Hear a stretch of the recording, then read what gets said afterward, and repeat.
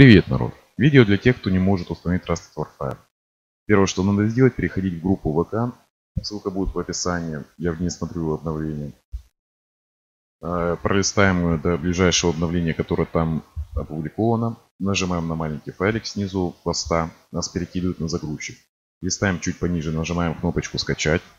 Нас перебрасывают на Яндекс Диск, нажимаем «Скачать». Ждем загрузки. Переходим, э, куда у вас скачивается файл, будь то папка в download или download, не знаю.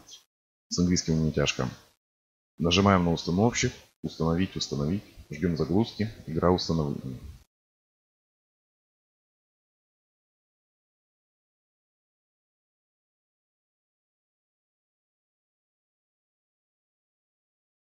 Дальше хочу отметить то, что у некоторых были там жаловались наши пакета.